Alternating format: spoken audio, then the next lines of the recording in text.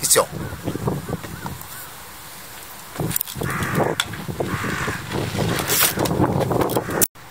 最後の右まで漕ぐぞ。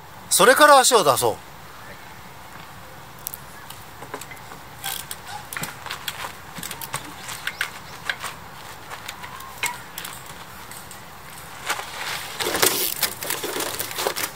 う。いつもよりも高いところまで行った。そうですね。後半伸びた。はいのは加速ポイントが奥になったからですえっ、と今の怖いポイント。怖いポイントはここに足をついたから絶対止まれない。でフロントがここまで来てると実はそこに足をついてる通りここにつけるから、はい。フロントが乗ってるんだからここに足つけるんですよ。はい。っていうことをあらかじめプログラムに入れておく。はい。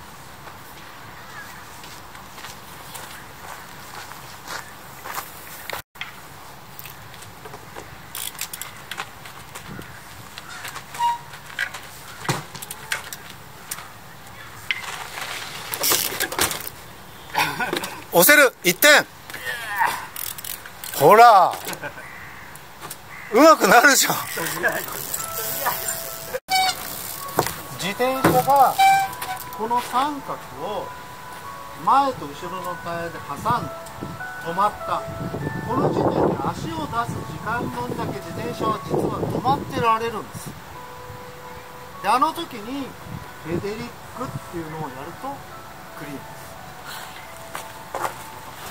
ありがとうございますはい、やってみて。見えてくるでしょう。はいそうすると、うまくなれるんですよ。足りないものが見えることが大事。自分で見えたじゃん。OK。低いまんま回しきれ。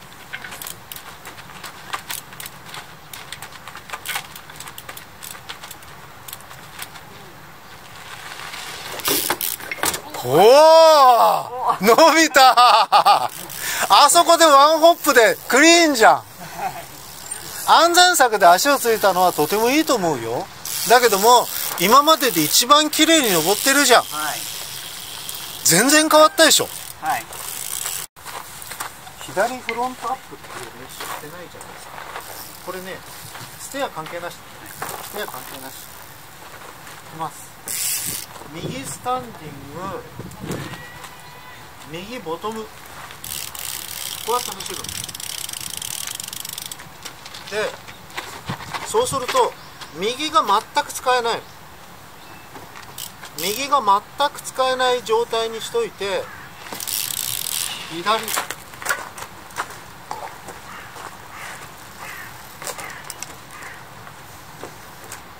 右を使えなくする。あえて。絶対左でしか上げちゃいけないっていう練習。これだけやってみて。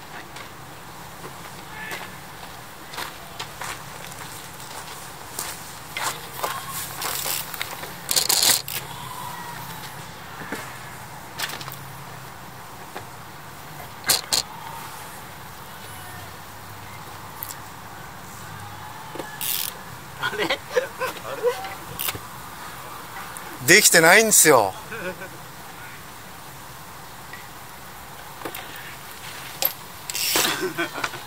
難しいでしょ。ですね。でこんな練習したことないでしょ。ないですね。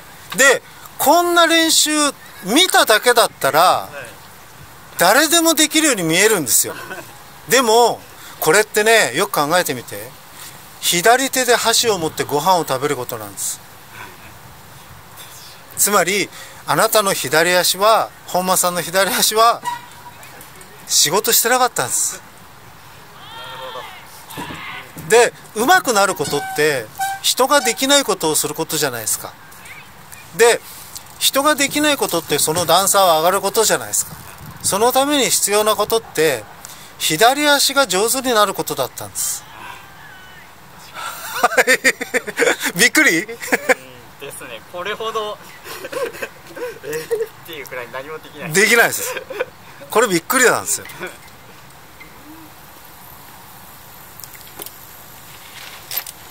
そうです。そこはあるんですよ。それが左足のトルクってやつです。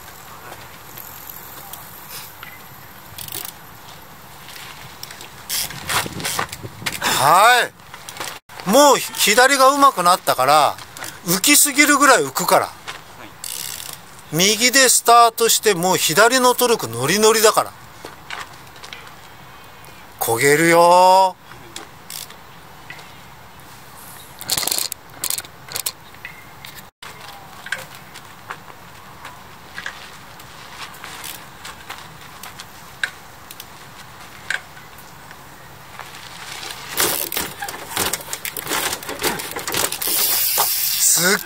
すっげえ良くなったじゃん。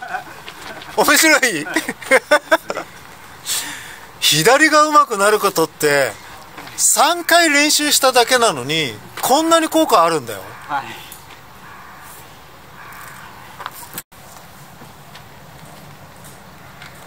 腰を落としてスタンディングをしてブレーキを離せば右は降りる。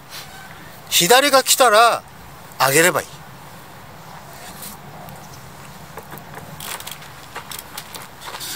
あー右膝が突っ張ってんな。右膝力抜いた方がいいね。そのままそうそうそうそう。ああ距離がちょっと今さ遠くなかった。終わりが早かったっしょ。はい。ほんの5センチでそんだけ差が出るのよ。あとフロント置いた位置が上すぎなかった、はい。ですね。で上すぎるとリアの助走がないのよはい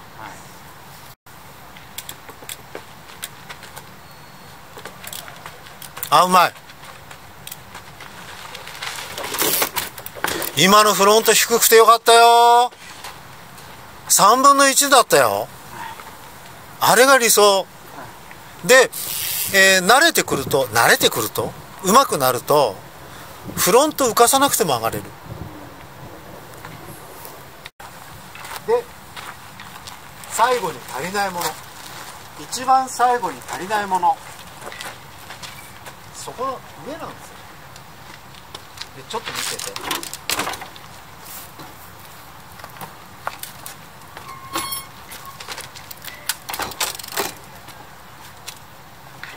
まこんな感じ。ペダルがちょうどここにかかってる。この位置。ここじゃないここじゃない。まあこ最初はここでもいいけどここが頂点だから一番ペダルがかかりやすいのは頂点。見ててブレーキ握ってないけどペダル体重で止まるの。あでブレーキ握った。ペダルついてる。で大事なこと。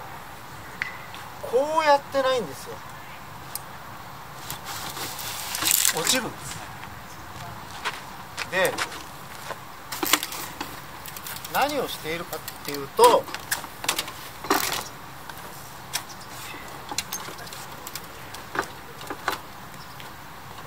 右のペダルよりも前に乗ってます。でこの時に左の膝はフレームの下。右の膝はフォークに当たるように。でみぞおちがハンドルにきます。みぞおちがハンドル。肘が背中に抜けてバッタの足。で顔目は車軸の上です。ね。この形を覚えてね。いきます。これがいわゆるテクニックでただし一発であんなに出れないです。なのでここからはペダルもかかってない状態からまず止まる。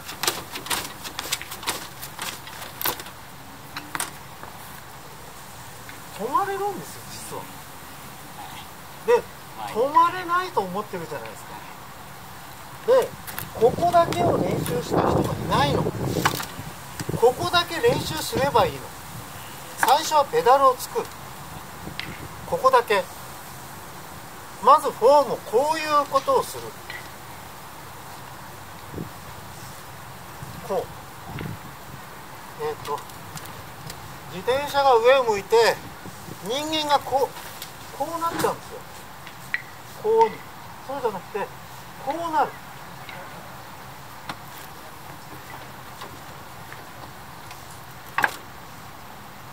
こうこれでこれ以上近づけない。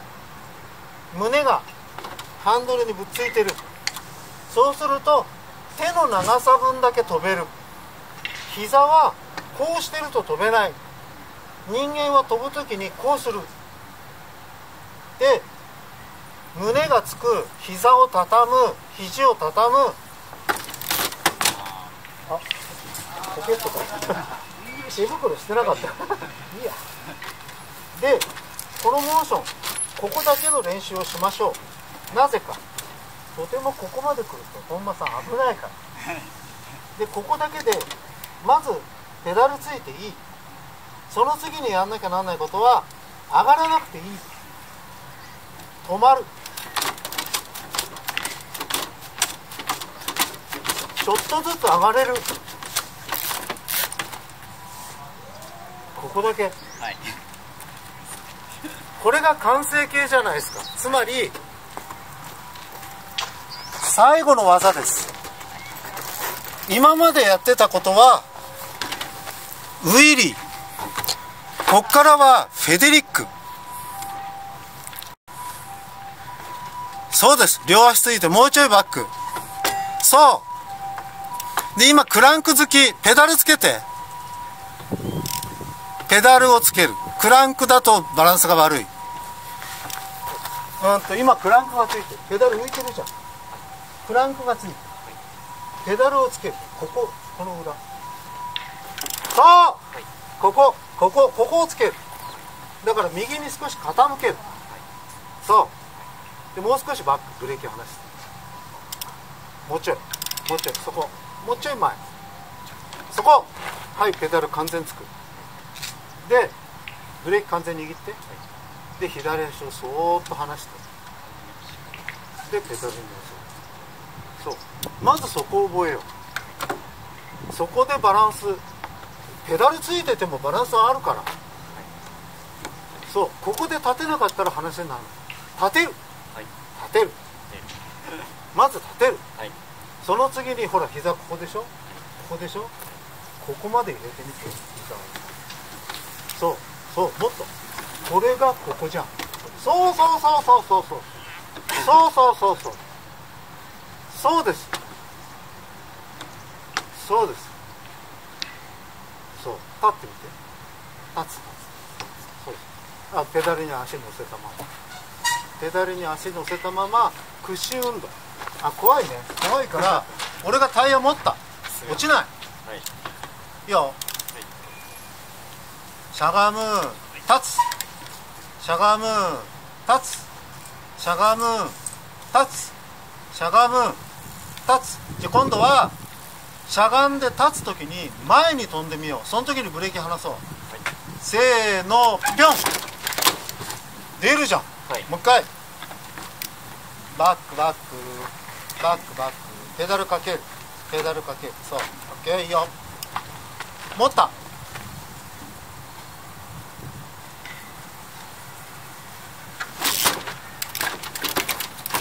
ほぼにこれ意外なほど出るでしょ。はい。これ覚えないことにははい。このクリーン出ないじゃないですか。はい。でここだけの練習っていうのをはい。誰もやんないんですよ。はい。いつまでもあそこから練習してる。はい。ここ覚えなきゃしょうがないのにここをおざなりにしてるここだけはちゃんとやらなきゃ。はい。持ったはい。イエーイ。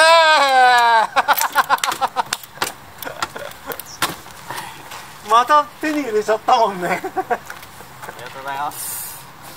全然あの考えが違うでしょ。はい。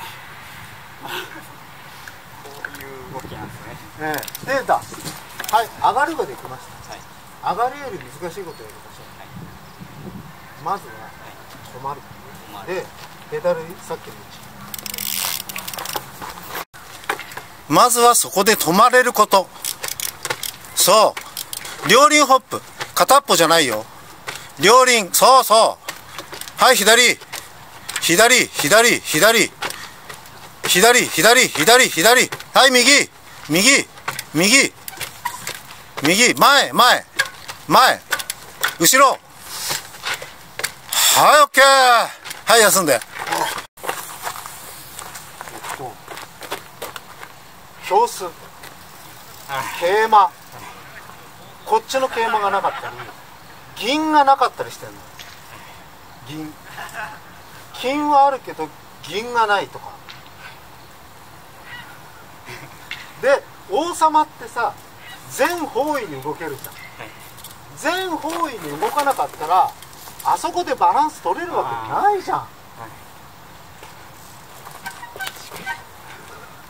両輪で前後ろ右左。はい。ありがとうございます。自分で前って言ってから前に飛ぶ左って言ってから左に飛ぶ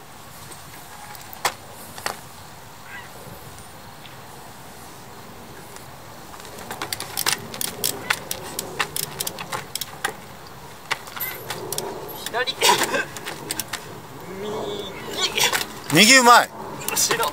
はい。左後ろ。左下手。前。はい。右後ろ。右後ろ。あうまい。そっちうまい。左後ろ。お後ろしか触れてない。だからダメなんだ。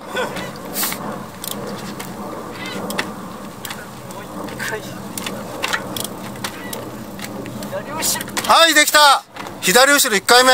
ちゃんとできたよ。はいできた。だいぶ自信ついたね。覚えた。じゃあ腰痛いから見て。ていきます。今度はだから本間さんに言った通り掛け声をかけてから。はいお疲れ様いきます。左左左左。右右。右右前行きます前前前後ろ後ろ後ろ右左右左前左後ろ右後ろ前でその1回ごとにしばらくの停止があるの飛ぶことが目的じゃなくて着地の停止があるこれは家ですでこれによってあのステーケースが上がれます。動画アップしてもいいですかね？はい。これね多分まあだからはっきり言えば本間さんが自分の町に帰れば自分よりうまいやつなんかそうそういねえんだよ。でここに来なきゃ誰かに襲われねえわけだ。